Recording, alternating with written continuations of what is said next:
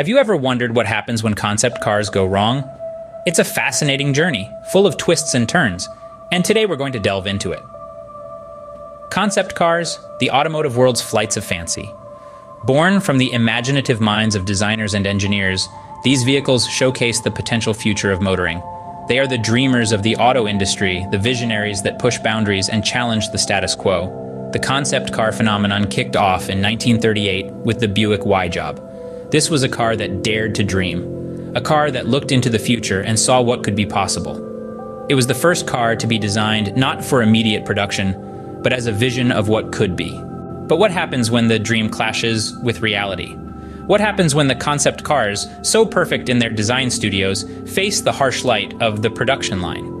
Take the Ferrari supercar lineage, starting with the F40, for instance. These concept cars, with their sleek lines and powerful engines, promised a new era of speed and luxury.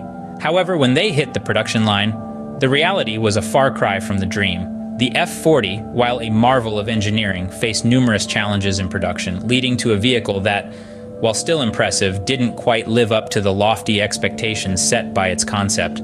Then there's the Toyota Supra, a car that promised so much but delivered so little. Its concept promised a sleek, high-performance vehicle, a car that would take the automotive world by storm. But the production model fell short, with critics citing its lackluster performance and uninspiring design as major drawbacks.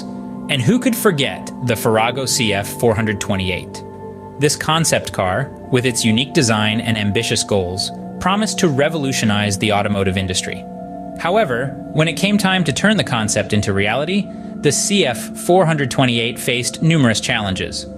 From design issues to production problems, the CF 428 was a concept car that went wrong. There are also those concept cars that never made it to production at all, like the Chrysler Kronos and the Nissan IDX. These vehicles, despite their innovative designs and groundbreaking technology, just couldn't make the leap from concept to production. But despite these challenges, the concept car phenomenon has had a profound impact on the automotive industry. They have pushed the boundaries of what is possible and inspired countless innovations. They are a testament to the power of imagination and the relentless pursuit of progress. In conclusion, Concept cars represent the dreams and aspirations of the automotive industry. They provide a glimpse into the future, a vision of what could be. However, the journey from concept to production is fraught with challenges, and not all concept cars make the journey successfully.